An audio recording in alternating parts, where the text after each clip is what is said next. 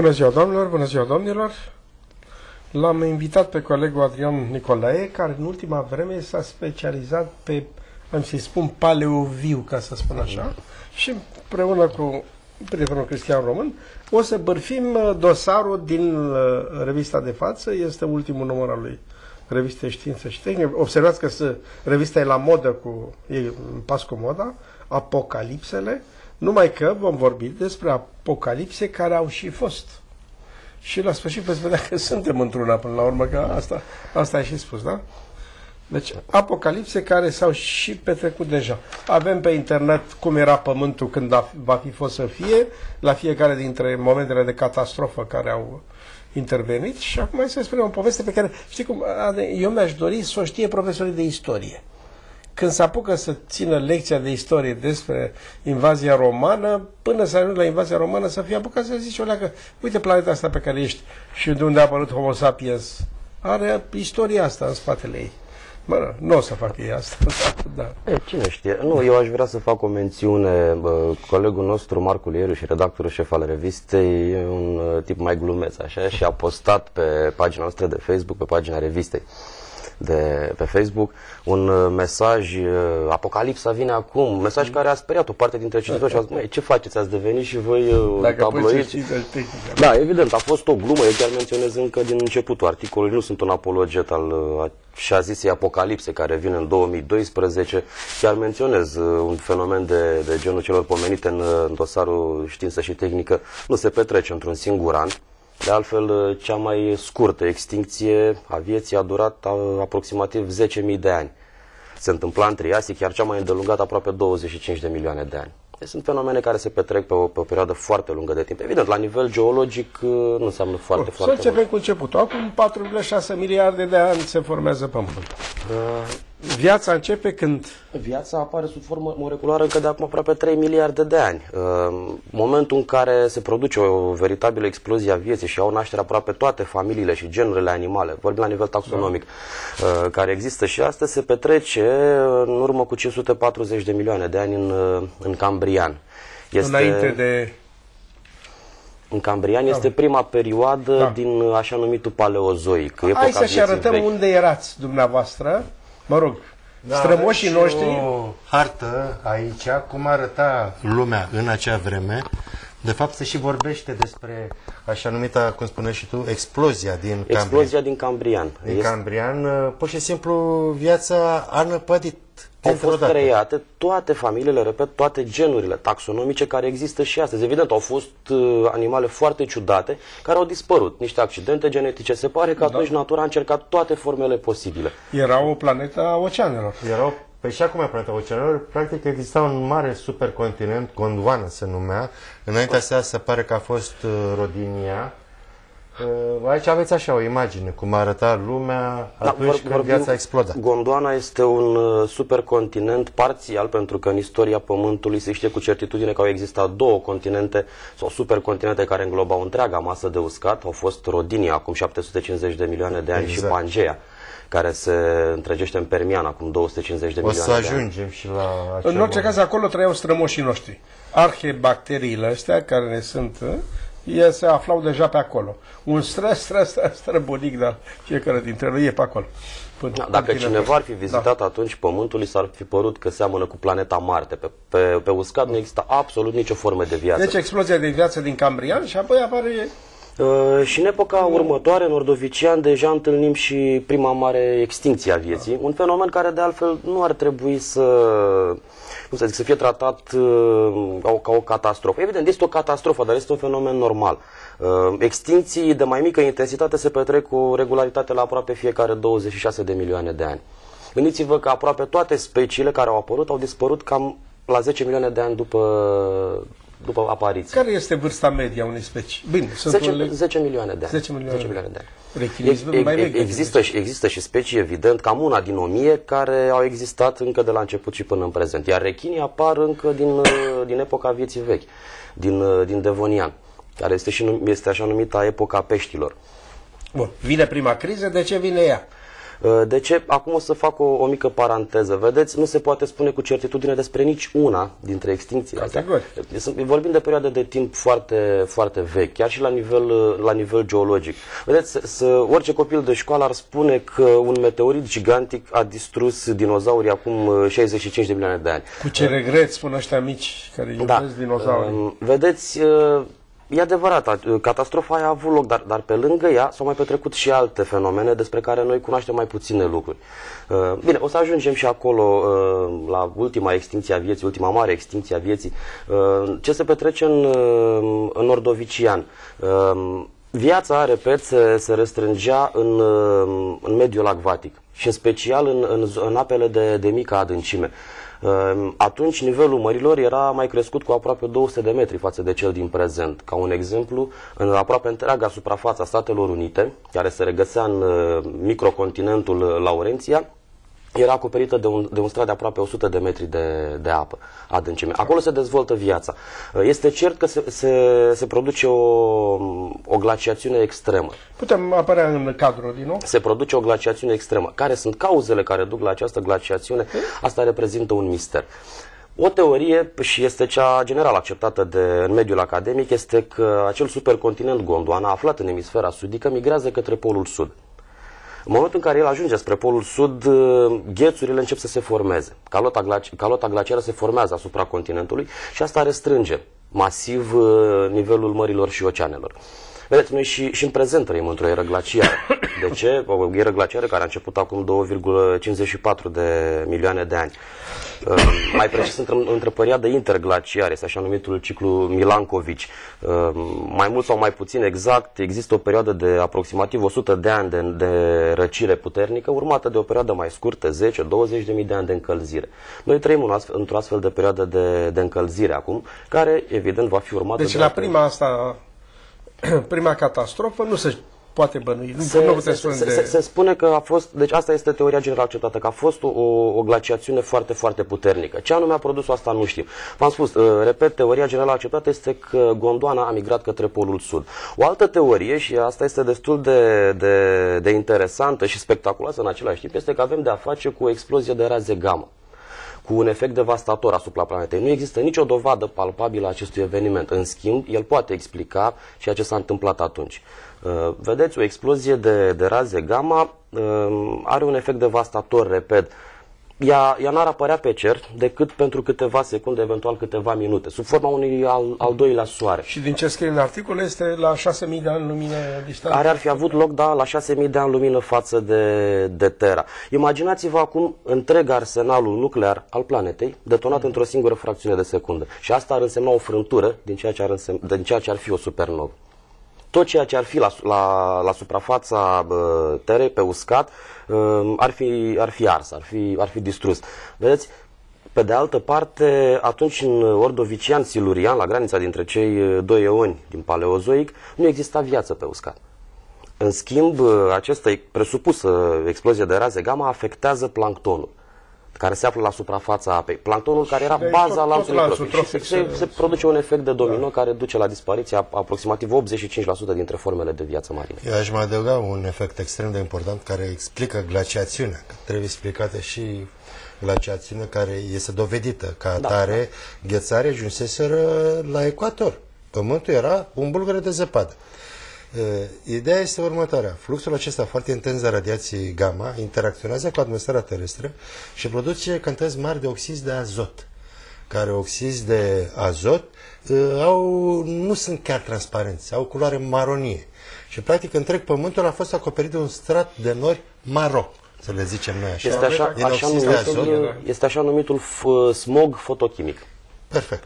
Asta este Fenomenul care formula se- științifică și, într-adevăr, un fenomen extraordinar. El este modelat ca atare, poate să producă asemenea efecte, dar problema este că nu găsim rămășița supernovei pe care să o putem pune în preajma Pământului uh, acum 450 Ea a de apărut milioane de doar ani. probabilistic, ca să zic așa.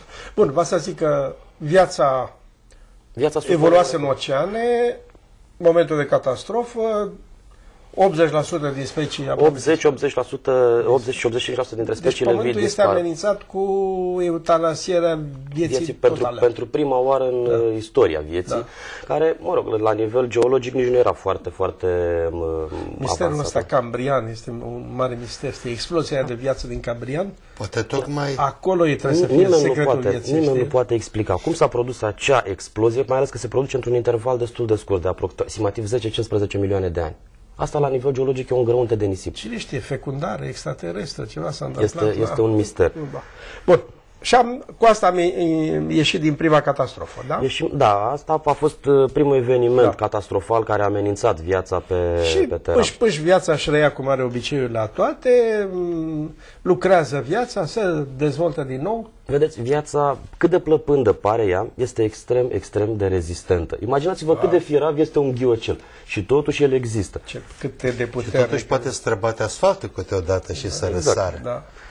Așa. Și trecem la mai departe de a doua catastrofă se întâmplă prin Extinția Devonia. din, din Devonian. Practic, vedeți, toate extincțiile se, se produc la, la, la granița dintre doi uh, eoni. Asta și diferențiază oarecum eonii respectivi. Da.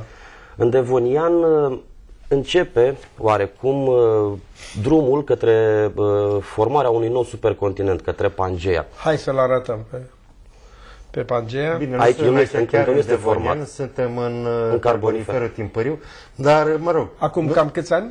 nu, 356 de milioane de ani. nu trebuie să vă faceți, cum să zic așa, o imagine aproximativă. Ne vrem să vă sugerăm că însăși planeta este o, o, Un organism. un organism care Mai se află bună într-o explicație continuă că asta nu mișcare. se poate. Și vedeți, în, în Devonian, așa, o spuneam și mai devreme, este așa numita epocă a, a peștilor, o era peștilor, pentru că atunci are loc iarăși o explozie extraordinară. Peștii, cel puțin ca număr, sunt animalele dominante de pe, de pe Terra. Și atunci avem de-a face cu un, un paradox. Avem din nou de-a face cu o, cu o glaciațiune. Ce a produs această glaciațiune, uh, să vedeți, uh, Te întrerup. Nu a apărut încă nimic pe uscat. încep să apară primele plante. Da. Primele plante. Pe Mai uscat, târziu. în, în Devonian, deja vorbim și de primele păduri. De primele păduri care se restrâng în zonele riverane, în zonele costiere. În general, Pădurile zona, de ferige gigantice pe care le știm din filmele de serie. că, da. acolo se restrânge viața. E, um, o teorie spune că um, aceste plante um, au început să consume dioxidul de carbon din, uh, din atmosferă, care, trebuie subliniat, era într-o concentrație de 14 până la 16 ori mai mare decât în prezent.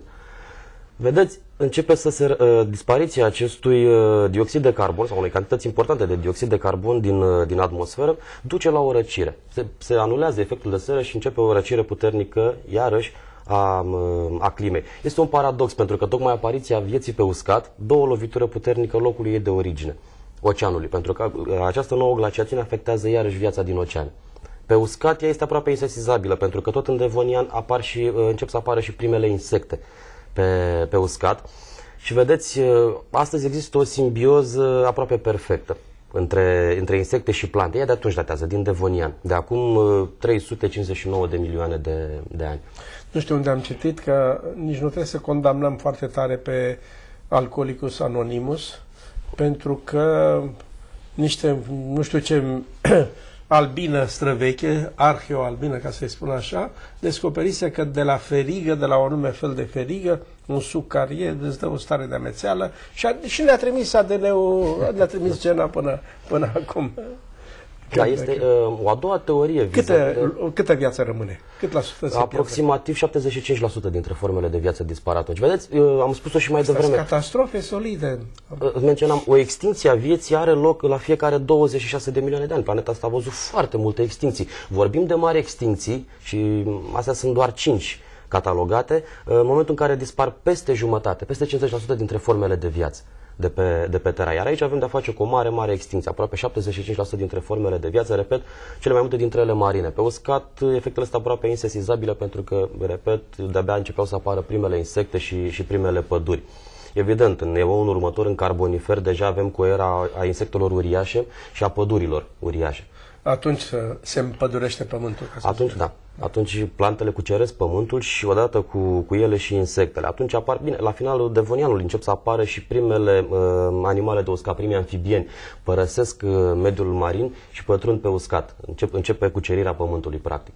Cucerire care se va uh, desăvârși în ultima eră din, din uh, paleozoic, din perioada vieții vechi, în Permian. În Permian când avem și cea mai mare uh, catastrofă pe care viața a Da. cunoscut-o vreodată. Hai, hai să arătăm cum, a- cum era locuința noastră Terra, păm, casa noastră Terra, cum arăta atunci. Vedeți, aici este, uh, Pangea este deja aproape formată. Ea se desăvârșește de altfel în, uh, în Permian. Um, Această formare a, a supercontinentului Pangea dă o lovitură puternică vieții care existase până atunci în carbonifer. Avem de-a face cu un fenomen puternic de deșertificare, fenomen care îl vedem și astăzi. Vedeți, pe o masă continentală de mari dimensiuni, cum este Asia, în centru apar întotdeauna zone deșertice. Acum avem deșertul Gobi acolo. În centrul Pangeei și în, în, în mai multe zone de, de pe continent, cum se vede și pe harta din imagine, apar zone, zone deșertice. E, aici, Ca Sahara sau reci ca Ai- Antarctica? Aici, aici este un, un mister, pentru că nu putem ști încă dacă, erau, uh, un deș- dacă era un deșert înghețat sau era un deșert arid, cum este astăzi uh, Sahara. Uh, și, și spuneam, uh, viața veche primește o lovitură. Animalele care reușesc să domine uh, uscatul sunt cele care sunt adaptate unui mediu arid. Plantele se schimbă și ele, apar coniferele. Pentru prima oară în istoria Pământului apar pădurile de, de conifere. Și tot aici avem în, în Permian, este o epocă pe care eu personal, este o părere personală, repet, um, o consider crucială în istoria Terei pentru că întâlnim niște uh, fenomene unice formarea supercontinentului, cucerirea uscatului de către animale, apariția coniferelor, apariția și poate prima diversificare dintre mamifere și uh, reptile, deși vorbim de niște animale primitive și oarecum niște hibrizi de, de, de genul ăsta, primele animale uriașe. Pentru că mulți fac confuzia de a confunda aceste animale din, uh, din Permian cu dinozauri. E o mare greșeală, am văzut-o chiar prin uh, publicațiile de prestigiu din România. Se spune că s-au descoperit dinozauri de acum 280 de milioane de ani. Atunci nu existau dinozauri, e o, e o greșeală flagrantă. Și vedeți, la, la finalul acestei epoci se produce un fenomen devastator, care aproape că duce la dispariția totală a vieții. Se estimează că atunci au dispărut în, în jur de 96% dintre formele de viață. Oamenii și tot uh, ceea ce ne înconjoară astăzi, toate formele de viață sunt urmașii acelor 4% de supraviețuitori. Pentru multă vreme, și când spun pentru multă vreme, mă refer până acum mai puțin de un deceniu, s-a crezut că un uh, asteroid gigantic a fost vinovat de această Asta extinție. e de obicei. Da, Calul de bătaie, nu? și S-a mers întotdeauna pe principiul parcimoniei. Cea mai simplă explicație este și cea plauzibilă. E bine, de data asta s-au înșelat uh, cei care au spus că e vorba de un asteroid. Astăzi avem dovezi indubitabile că a fost vorba de un fenomen uh, poate mai destructiv decât un, uh, un asteroid gigantic, de un supervulcan. Uh, Este cel mai puternic supervulcan pe care planeta l-a întâlnit în ultimii 500 de milioane de ani. Un supervulcan care a avut loc, vedeți, în nordul Pangei, în Siberia, Putem să arătăm, o să arăt și eu cu mouse ca să fie mai ușor. În zona siberiană. În zona Aici siberiană, vedeți unde un, mouse-ul un meu. super vulcan care erupe pe o suprafață mai mare decât a Europei sau Australiei de astăzi și care erupe continuu pentru aproape un, un milion Lasă de ani. urme. Le citim astăzi urmele acolo în Siberia. Evident, uh, z- zona se numește astăzi trapele siberiene. Trapele sunt dealuri bazaltice, sunt rezultatul acelor erupții continue de peste un, de, de aproape un, un milion de ani. Vedeți, un astfel de, de fenomen are efecte devastatoare. Animalele care au fost în imediată apropiere a, a vulcanului sau a supervulcanului nu au avut nicio șansă. Cele care au fost la depărtare au cunoscut de-a lungul uh, anilor efectele a ceea ce înseamnă un, un supervulcan. Imaginați-vă cantități inimaginabile. E un pleonat să vă imaginați ceva inimaginabil, îmi cer scuze. Nu, trebuie nu Imaginați-vă pleonați, ca- mie ca- sublinează foarte bine. Imaginați-vă cantități de-a dreptul colosale de cenușă vulcanică, de gaze care acoperă complet soarele. Da, dar eu mă gândesc că în zona m, siberiană în care a avut loc acest fenomen, avem un strat de lavă de vreo 6 km. Uh, nu, nu de lavă, nu de lavă, de, de cenușă De vulcanică. cenușă vulcanică. De cenușă vulcanică. Vreo 6 km, 6 pe o km suprafață mai mare decât, uh, nu știu, mi se pare România e micuță pe, pe, lângă. pe, pe cel puțin câteva sute de kilometri. Aproape 800 de kilometri, lava atinge 6 km grosime. Uh, Lava, pardon, cenușa vulcanică atinge 6, de 6 km grosime. Este un fenomen cu efecte devastatoare. Imaginați-vă că vulcanul Laki, cel mai din Islanda, care a uh, erupt în 1783, a eliminat atunci 1,4 km cubi de lavă. Care Faceți s-au o învârtit în comparație? jurul Pământului, care au oprit și lumina care au, soarelui. au dus la răcirea temperaturilor globale cu, cu un grad Celsius. Imaginați-vă acel 1,4 km cub de lavă comparativ cu cei peste 3 milioane de kilometri cub de lavă eh, care au eh, fost eliminate de eh, Să ne imaginăm. Inimaginabil. Inimaginabil, da. Probabil, dar planeta a fost condamnată. Atunci a fost iarăși un efect de domino, pentru că uh, au fost mult, multe efecte. Uh, n-aș vrea să intru în detalii și să spun acum tot uh, ce conține uh, dosarul, aș vrea să mai las și surpriză cititorilor noștri. Sunt uh, mai multe etape. Uh, Vedeți, în, în Siberia încă de atunci existau depozite de cărbune. Chiar și astăzi depozitele de cărbune datează în mare parte din așa numita epocă uh, carbonifer. De-aia se și numește carbonifer, epoca plantelor și insectelor uriașe. Atunci se formează. În momentul în care lava atinge um, straturile de, de cărbune din Siberia, care sunt uriașe, uh, este eliminat foarte, foarte mult dioxid de carbon în atmosferă se produce o încălzire globală mă, de proporții mă, catastrofale. Unii spun că a, a, a atins uh, plus 6 grade Celsius, alții spun că au crescut cu până la 15 grade Celsius temperatura în, în perioada respectivă. Vă dați seama ce efect a avut asupra formelor de viață din, din perioada aceea. Deci 4% e tot ce rămâne. 4% este tot ceea ce rămâne. În oceane, viața dispare aproape în totalitate. Vă dați seama ce înseamnă selecția naturală? Dacă 4% înseamnă că cele mai adaptabile cu putință forme, de-aia suntem atât de puternici. De Homo sapiens, Atunci au rezistat animalele capabile să-și sape adăposturi subterane, animalele capabile să respire într-un mediu foarte sărac în oxigen și capabile să reziste cu resurse extrem de reduse de, de hrană. Sunt foarte, foarte puține. Um, Sunt uh, așa numiți listrozauri, un animal foarte, foarte bizar, un fel de, uh, dacă vreți, ornitoring din zilele noastre, ca să fac o comparație. Un animal de mărimea unui uh, porc, dacă vreți, din zilele noastre, cu, un, cu doi canini ca de morsă și cu un uh, cioc asemănător cu al unei păsări de pradă. El este animalul care, după Marea Moarte, așa cum este numită extinția din, din Permian, ajunge să reprezinte 95% dintre formele de viață de pe Terra. Este animalul care și-a dominat planeta uh, cel mai bine, până la om. Câtă vreme, deci? El mai rezistă pentru aproximativ uh, 50 de milioane de ani până la sfârșitul Triasicului, când are loc a- o altă extinție, așa și în care supraviețuitorul prin excelență al uh, Marii Morți din Permian își găsește și el uh, își găsește sfârșitul. Așa arată deci Terra. Acum Acum, 195 de 195 de milioane de ani. Vedeți? Este perioada în care începe fragmentarea supercontinentului Pangea. La sfârșitul dintre Triasic și începutul da, începem să Jurasicului. ghițim puțin uh, Deja formele încep, moderne. încep să se formeze continentele pe care le știm și, și astăzi. Vedeți? Atunci se presupune că m, adevărata cauza extinției a aproximativ 70-75% dintre formele de viață a fost un rift uriaș. Un rift uriaș de peste 6.000 de kilometri care a tăiat Pangea de la nord la sud. Repet, începeau să se formeze continentele de astăzi, eh, supercontinentul Pangea se, eh, se frângea în, în, în, în bucăți, iar asta a dat naștere unui fenomen de vulcanism extrem, extrem de puternic. Și, practic, este o, o ereditare la scară mai mică a ceea ce s-a întâmplat în Permian. Vedem aici, de fapt, America de Sud unită cu Africa. Acela este și Iată riftul. Africa. Da. Aici este linia aceea în care s-a rupt pur și simplu, practic, Pangea. eh, Pangea. Imaginați-vă um, un continent sau un supercontinent străbătut de la nord la sud de o linie vulcanică. Un rift uriaș, Pământul crăpat și din crăpături ieșind ieșind lava. Sigur, condamn la moarte viața. A fost un efect devastator, dar pe de altă parte, vedeți, intrăm într-o perioadă, Jurassic este o perioadă relativ liniștită, inclusiv Cretacicul până la, la finalul lui, în care se dezvolt uh, marile uh, reptile din, uh, din Mezozoic. Deja am intrat la finalul Permianului și începutul Triasicului, intrăm în perioada vieții de mijloc în, în Mezozoic. Era în care prosperă marile sauropode și uriașele carnivore reptiliene, dinozaurii. Acum, asta e bucuria copiilor. Deja, vedeți, acum 65 de milioane de ani, când are loc um, cea de-a cincea mare extinție a vieții, continentele deja seamănă cu cele din, din ziua de astăzi. Începe așezarea, așezarea lor. Um, Spuneam, uh, dacă este permis termenul, extinția de acum 65 de milioane de ani este practic regina tuturor extințiilor. Nu pentru că ar fi fost cea mai devastatoare, ci pur și simplu pentru că a avut un PR foarte bun. Este cea mai cunoscută. Ce idee! Și a lăsat loc mamiferelor. Da. Craterul aici ar fi reprezentat, trebuie să precizez că pe ecranul noastră poate nu se vede foarte bine. Aici este craterul din uh, Chicxulub.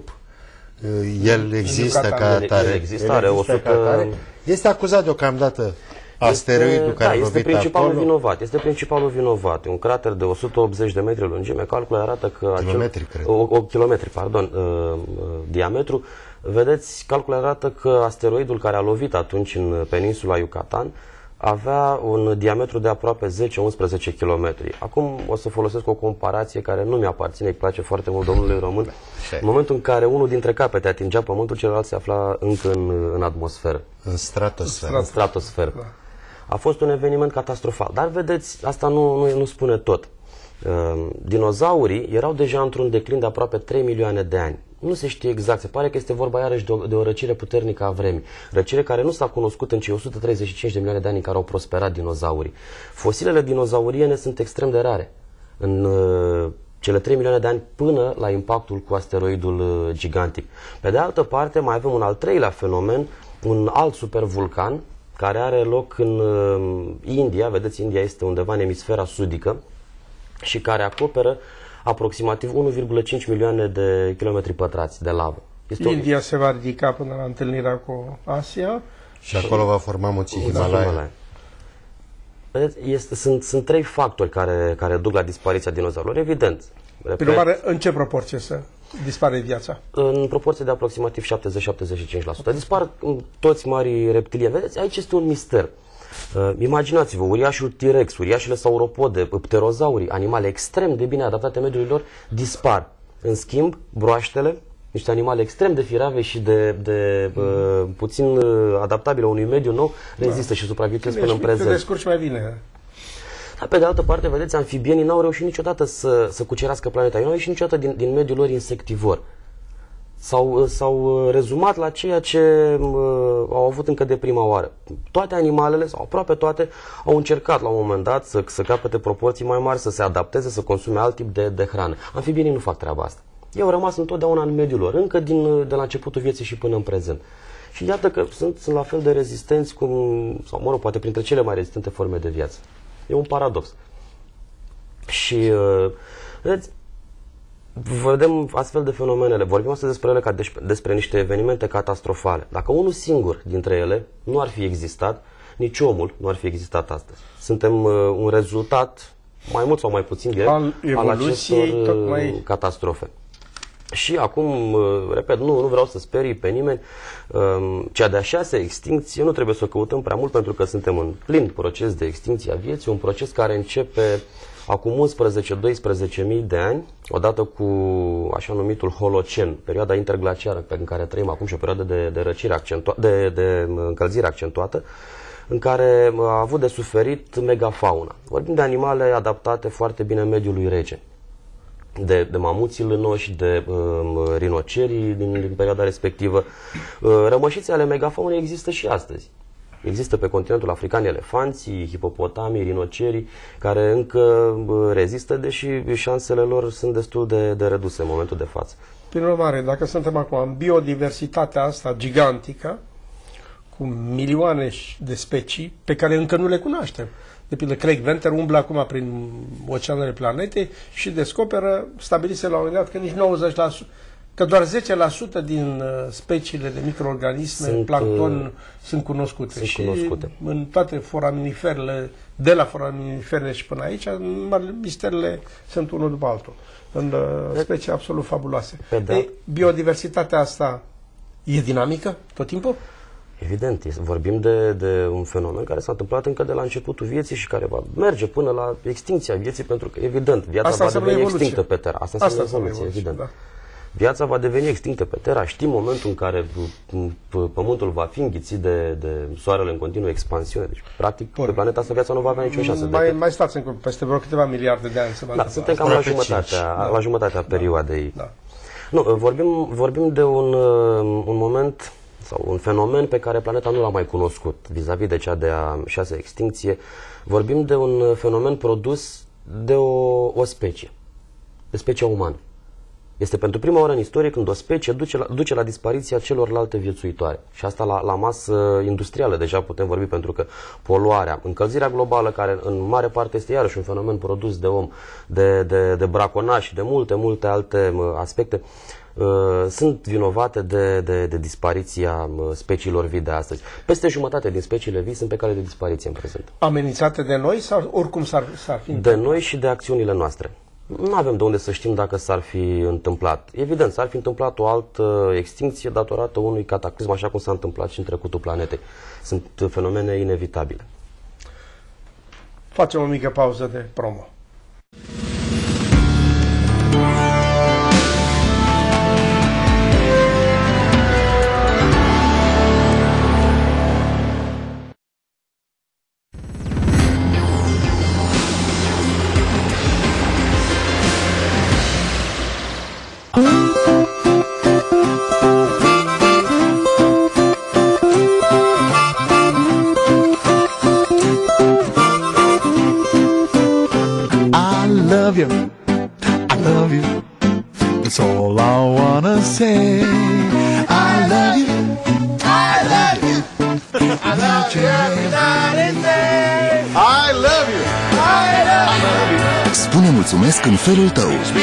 Îți mulțumește oferindu-ți pachetul I Love You cu internet fiber power 20 megabits pe secundă gratis.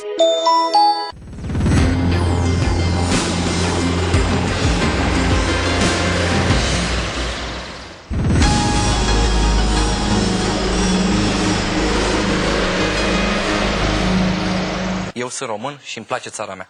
O guvernare dezastruoasă. Un partid al trădătorilor. Important e ca românul să creadă în cine îl conduce. Mai veniți, doamne, cu sondaje. Eu am sperat întotdeauna mai bine.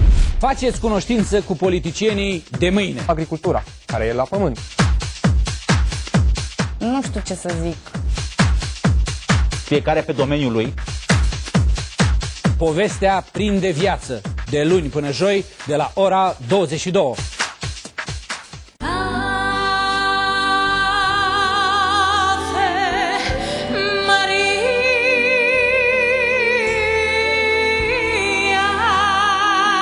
Un spectacol de înaltă ținută și de mare rafinament pentru iubitorii muzicii de calitate. Iana Novac la Teatrul Odeon. Joi 29 martie, ora 19.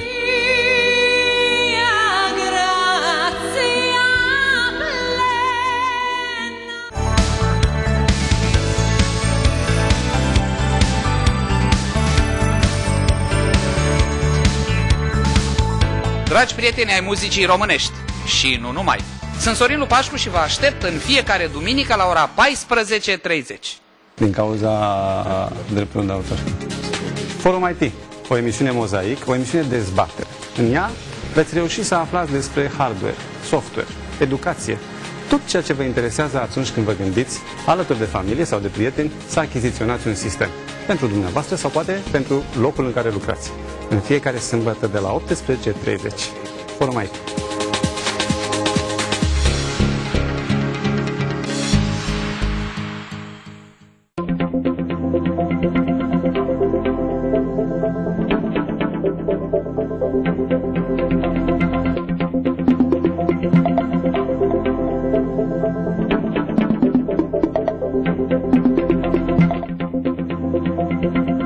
Focus Group.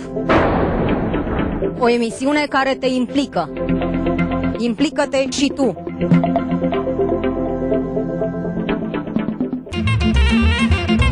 Doamnelor și domnilor, sunt Georgian Nucă și vă invit în fiecare duminică să ne urmăriți. Intrăm în casele dumneavoastră cu cei mai îndrăgiți interpreți ai folclorului adevărat.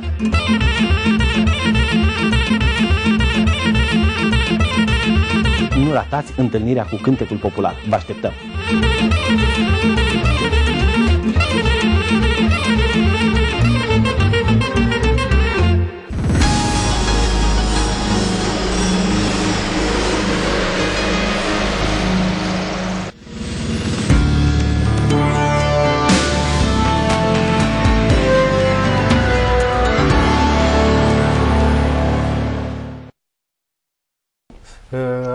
Dragi prieteni, în studiu.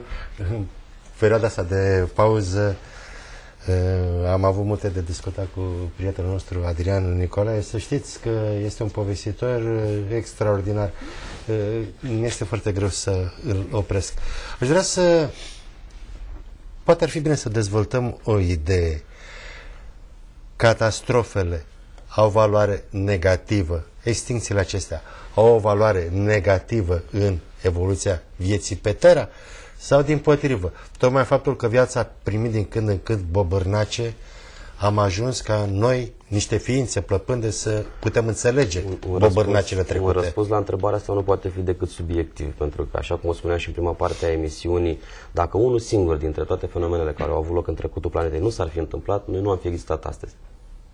Probabil că Pământul, dacă nu ar fi existat acea extinție din de acum 65 de milioane de ani, ar fi fost încă dominat de dinozauri. Dar poate dinozaurii ar fi devenit inteligenți. Poate ar fi devenit, uite, să ne și imaginăm. Vedeți? Uh, Intrăm aici pe... pe Speculăm, avem voie. Da, categoric. De ce să nu, nu facem asta?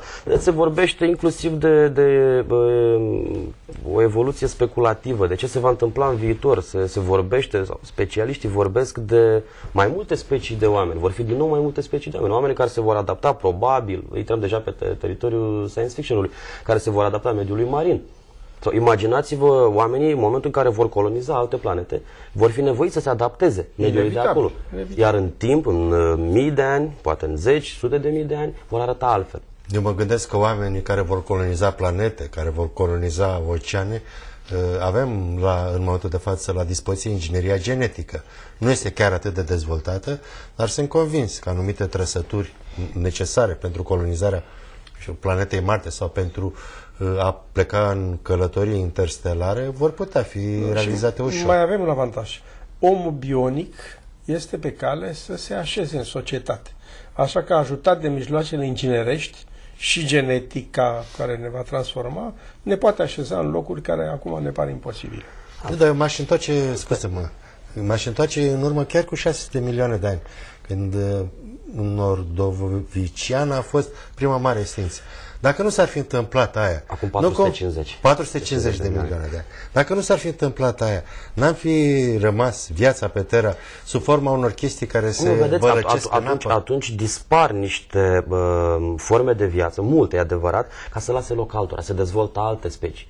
Um, extinția din, din Nordovician, prima extinție este cea care dă o lovitură puternică unui animal emblematic pentru perioada vieții vechi, trilobitului. El nu dispare, dar devine o umbră a ceea ce a fost. El dispare, el mai trece peste încă două extinții, dispare tocmai în, în Umbră Permian. de trilobit. Da, este poate unul dintre cele mai rezistente animale din, din trecutul planetei pentru că rezistă la două, două mari extincții și dispare în abia în a treia. Și într-adevăr, cum spuneai, nu-i de perspectivă. Dacă nu-i de perspectivă, a, bine, a mers el mai departe, dar nu, nu Este, este n-a un, ajuns la un, performanță. un light motiv să spui că uh, Pământul este un organism viu. Da, Pământul este categoric un organism viu, iar uh, faptul că noi avem uh, raportat la nivel geologic o durată de viață foarte scurtă nu ne permite să, să realizăm schimbările care se produc pe Terra. Se produc tot timpul schimbări. Noi acum trăim într-o perioadă de relativă acalmie acest holocen de, de 11.000 de ani. Pământul nu a fost întotdeauna așa, iar celelalte perioade interglaciare, vorbim de Emian, care a avut loc acum 120.000 de ani. A fost o perioadă marcată de schimbări bruște de temperatură. De, de, de creșteri mari de temperatură, mai mari decât în ziua de astăzi. Imaginați-vă că pe Tamisa și pe Rin se îmbăiau hipopotamii și trăiau rinocerii, pe care astăzi întâlnim doar în Africa. Ei, care trăiau în nordul, în nordul uh, Europei atunci. Și pe, în, în tot tabloul ăsta se produc schimbări, sunt, sunt uh, date certe, se produc schimbări în decursul a numai câțiva ani. Lucruri pe care noi nu le-am întâlnit. Vedeți, omul a apărut într-o perioadă glaciară. Omul apare acum circa 160-200 de mii de ani. Dar E are vorba de Homo sapiens, De ca Homo să sapiens vorbim categoric. De mai Homo clar. sapiens. Și de- de Neandertalul special- cam tot atunci, cu 100 de mii de ani înainte. Um, dar omul are o explozie teribilă de dezvoltare acum 10.000 de ani. În momentul în care se încheie acea perioadă de, de glaciațiune și începe încălzirea. În momentul în care îi se permite să facă agricultură. Acela e un fenomen deja cultural. Vorbim Are, ca... are loc un moment de, de transfer în arheocreierul către în paleocreierul către creierul cultural. Gândiți-vă că odată cu apariția uh, uh, uh, agriculturii încep să se dezvolte și civilizațiile rudimentare. Erihonul Se spune că este cel mai vechi oraș locuit de pe Terra. Are o, e locuit permanent de a- aproape 10-11 mii de ani. La fel și Damascul. În Ierihon avem deja în perioada respectivă ziduri de apărare. De cine se apără? Asta este o întrebare destul de, de interesantă. De cine se cineva apărau? se apărau, De cei de din ce? Damasc. Da. nu, avem inclusiv un, un turn cu scară interioară vechi de 9000 de ani în, în Ierihon. Deci, sunt niște mistere pe care omenirea încă nu le-a, le-a elucidat. Eu mi-am- Avantajul, în altă parte citesc, dar și dumneata ai avut într-un articol anterior în revistă, uh, apariția lui Sapiens și roirea către restul lumii, uh, faptul că Sapiens poate să trăiască mai mult decât cei 30 de ani pe care i-a avut Homo erectus. Homo erectus atât avea speranța de viață până la 30 de ani și trecând de 35 de ani, deja s- își pasează, își trece mai departe informația. Își face educația către urmași. Grija față de bunicea și Este un rezumau avantaj, ei. este un avantaj extraordinar faptul că Homo sapiens uh, a putut uh, transmite informația direct în trei generații. Aveau bunici. Bunici de care aveau grijă. Evident, și, și omul de Neandertal, el a fost considerat pentru foarte multă vreme o brută. Un, un animal lipsit de, de sentimente, da, e adevărat, cu formă, cu formă umană, dar un animal uh, lipsit de sentimente. Uh, lucruri care astăzi nu mai sunt valabile. Vedeți? Dar ea, oricum a fost mai puțin asociativ. Nu Uh, se se, spune, strângea se în- spune că dacă rata natalității la omul de Neandertal era cu doar 2% mai mare, el probabil că ar fi existat și astăzi. Mă rog, el există în genele noastre. El a supraviețuit și a transmis și chiar a, a dat un, un uh, impuls serios uh, în cursa pentru supraviețuire speciei noastre. Avem acele 4% uh, ADN neandertalian, 1, 4%, depinde de, de fiecare, care ne-au ajutat foarte, foarte mult în cursa pentru Dar supraviețuire. revenind în la Europa. bunicii de care vorbea uh, Cristi, uh, și Revoluția Agrară a însemnat așa, pe platourile Anatolii, că acolo a pornit și în Cornul de Aur, uh, a însemnat stau acasă și fac grădinărit cei mai în vârstă, pentru că restul sunt totuși vânătorii. Cei Vânători tineri- cu legători. Vânători, cu- cei tineri pleacă la, dar uh, ăștia rămân acasă, ei fac asta, iar m- mama mare a familiei e cea care transmite informația și are grijă de copilul mic născut, deci o eliberează pe... Uh, Asta sunt- e singura specie la care se întâmplă Vedeți, asta. și, uh, și în momentul ăsta al uh, începutului agriculturii, al formelor rudimentare de agricultură, a fost dat uh, tot de, de o lipsă a, a vânatului. Imaginați-vă că în momentul în care uh, coloniștii europeni au ajuns în, în America de Nord, spre exemplu, uh, și vorbesc de un fenomen care s-a întâmplat până la începutul secolului 20, pe la 1900. Um, amerindienii, mare parte dintre amerindienii din America de Nord nu practicau agricultura.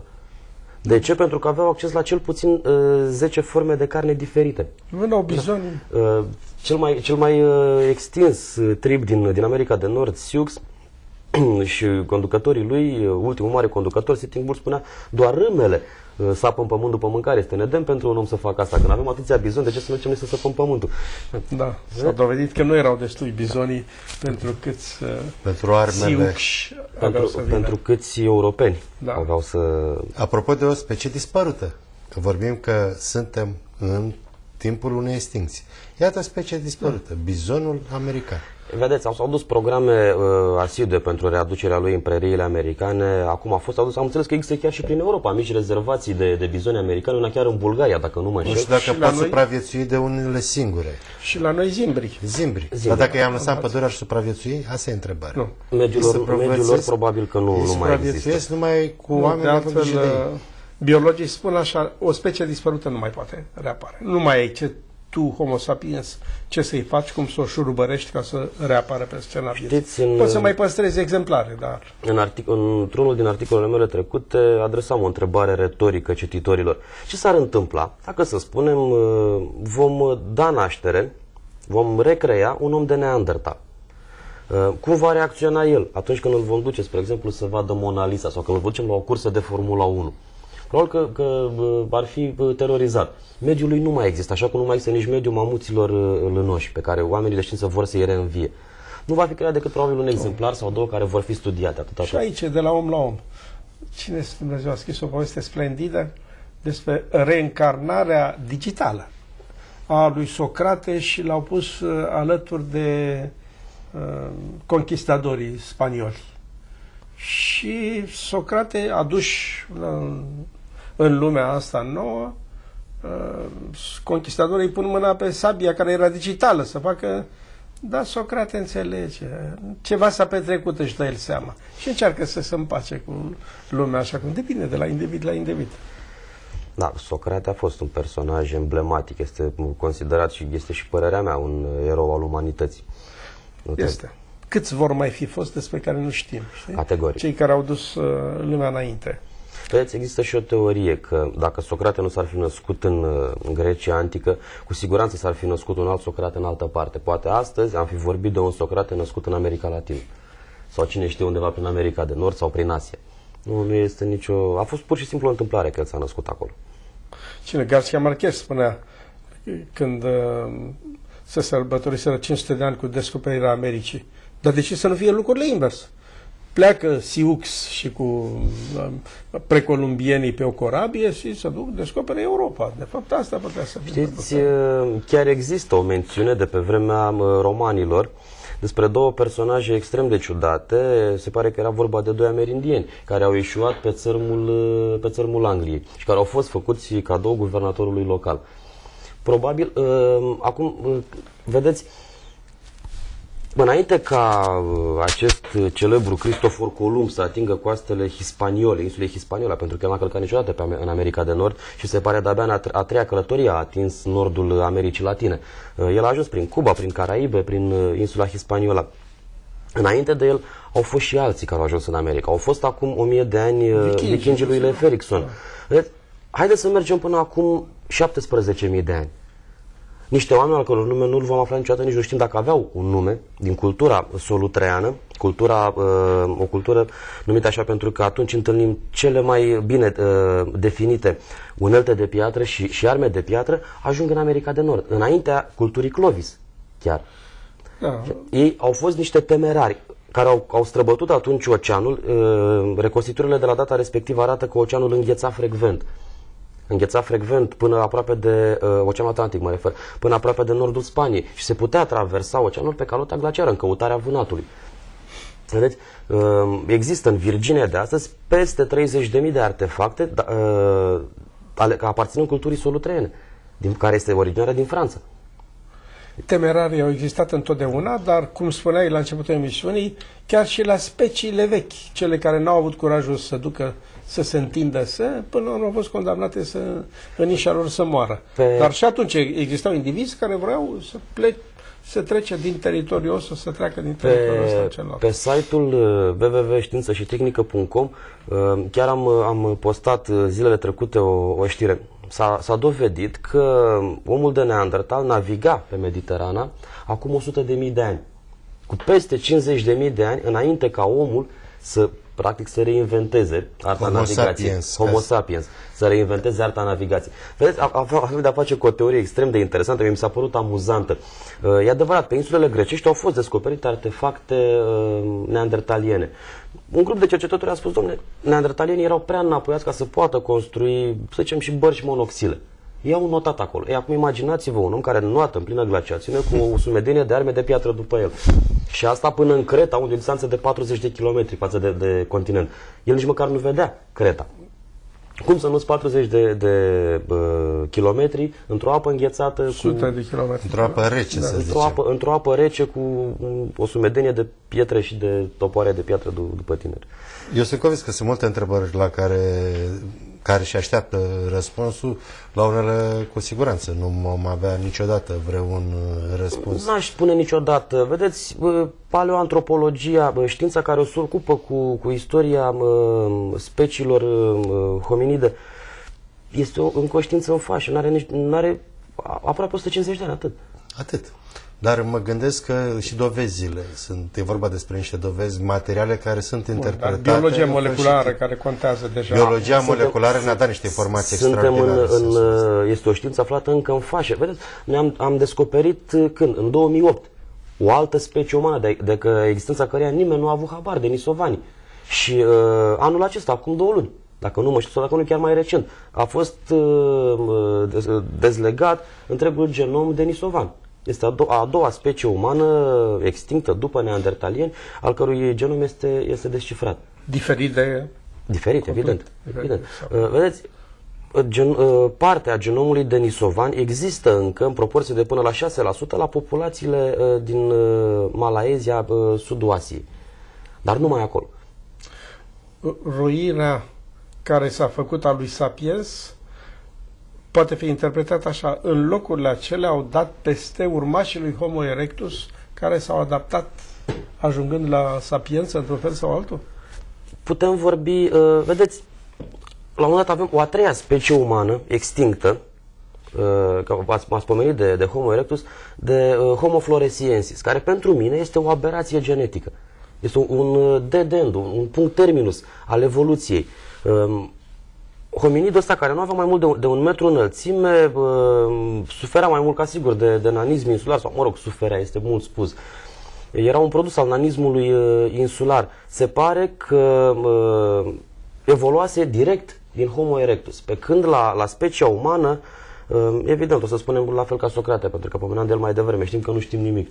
nu se cunosc cu exactitate pașii că nu știm evoluției. destule. Cu exactitate nu, cu siguranță că nu, nu poți să spui așa ceva, dar uh, epigenetica rezolvă uneori lucruri din astea. Deci adaptarea la mediu într-un interval mai rapid decât uh, Știți, evoluția Um, poate face să. Ultima oară când uh, am avut ocazia să, să vorbesc la, la o clasă de, de copii de, cla- de, de 14 ani, clasa 8 le-am vorbit iarăși de, de evoluția omului și uh, toți știau că omul se trage din maimuță și le-am spus niciun om de știință, cel puțin unul cu capul pe umeri, Mm. nu vă va spune că omul se trage din maimuță. Asta este o inepție, nici măcar Darwin nu a spus așa ceva. Darwin chiar a subliniat. Uh, mai mult, el în 1859, când a publicat Originea speciilor, n-a spus niciun cuvânt despre specia umană. A făcut asta de-abia în 1871 și a spus uh, maimuțele antropoide din Africa și omul au evoluat separat dintr-un strămoș comun. Cum arăta acel strămoș comun, nu știm. Este una dintre verigile lipsă.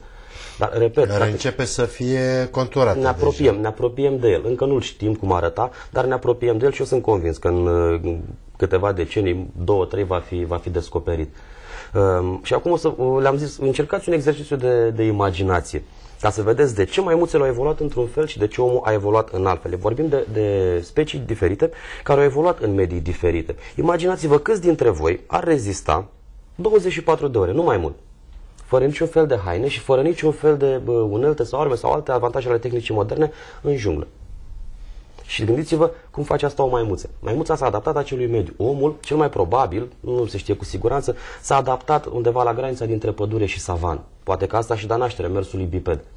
Faptul că între ierburile înalte ale savanei el trebuia să vadă cât mai departe și să simtă uh, pericolele. Este o teorie și mersul biped este iarăși un mister. Da, îl întâlnim oarecum la Australopiteci cu 6 milioane de ani în urmă. Din câte da, știu... mersul, mersul, biped, mersul biped se pare că a apărut acum circa 6 milioane de ani. Este adevărat la uh, așa numitul Ororintul Genesis, omul mileniului. Um, Este evident că îl foloseau australopiteci și... uh, Dar parțial, era clar că... Era parțial. Uh, Este un sit pe care domnul Mironov l-a, l-a, chiar l-a vizitat. A fost la, A la fața fost locului, la, Etoli, în Old- Tanzania Olduvai Gor- George. Unde în cenușa vulcanică s-au păstrat urmele uh, a doi uh, australopiteci uh, care probabil fugeau din calea erupției vulcanice și iar urmele lor au rămas impregnate în cenușa respectivă. Este evident că foloseau mersul biped. Acum, uh, pentru că tot am vorbit despre extinții, și omul s-a confruntat cu o extinție. Da, Homo categoric. sapiens. Da, am categoric. putea vorbi despre o extinție sau două, Da, cât om, ar fi omul, fost? a, omul a fost în pragul extinției acum 74.000 de ani. Când iarăși a fost vorba despre un supervulcan, uh, vulca, supervulcanul Toba din Sumatra. Uh, Datele genetice arată atunci o, o compresie extraordinară a omului. Noi, noi suntem produsul acelor supraviețuitori. Se pare că atunci au existat undeva între 1000 și 10.000 de, de supraviețuitori. Atât. Pe Asta continentul e tot. african. Asta e tot. Tot ce a rămas din... uh, Bine, nu putem vorbi acum de o populație de milioane de indivizi. Probabil că erau 100 de mii, 200 de mii de indivizi pe continentul african, nu mai mult. Oh, oricum se spune Da. că variabilitatea genetică a omului Este este, extrem de redusă. extrem de redusă, mai redusă decât a două populații de maimuțe din aceeași specie care sunt pe maluri diferite ale unui fluviu. Diversitatea noastră genetică este extrem de redusă, repet, da, este, este cât se Spune poate de Carl adevărat. Sagan că pentru un extraterestru care ar veni pe Pământ n-ar fi niciun fel de deosebire între un individ și altul de, din punct de vedere genetic de pe Bine, Terra. nici eu nu pot să deosebesc cu oaie de alta, dar Uh, Lucrul ăsta este foarte important iarăși de subliniat, că uh, planeta, viața pe planeta asta s-a confruntat cu mai multe extinții, dintre care cel puțin 5 au fost masive. Cinci au fost masive, da. Dar și omul, în evoluția lui, s-a confruntat cu cel puțin o extinție Eu sunt convins și am, am mai spus-o și cu alte ocazii, inclusiv în articolele mele, eu sunt convins că omul se va mai confrunta cu astfel de, de momente. Și care ar fi salvarea omului? Inteligența. A, a crescut la minte, exact asta. Deci O- suntem în altă parte a istoriei. Eu am alt răspuns care îl prefer eu. Da. Prefer răspunsul, va trebui să devenim o civilizație multiplanetară. Și în felul ăsta vom rezolva orice problemă legată de extinția Sau omului de bionică. pe planetă. Știți, în- vorbeam de, de australopiteci. Um, Singura lor armă în fața uriașilor carnivore era o armă pe care niciun alt animal nu mai dezvoltase până atunci, creierul. A fost uh, cea mai uh, uh, la îndemână arma lui și cea mai puternică dintre toate. Cred că ne putem opri aici. Iată dosarul dintr-o revistă, un dosar care ar merita chiar să fie transmis școlilor, clasa a 8 de pildă, cum, cum are prietenul Adrian Nicolae întâlniri cu, cu ei, ar merita să aibă în față acest pasionant dosar al istoriei sub forma asta. Istoria planetei, istoria viului pe planetă. ポジティブな方です。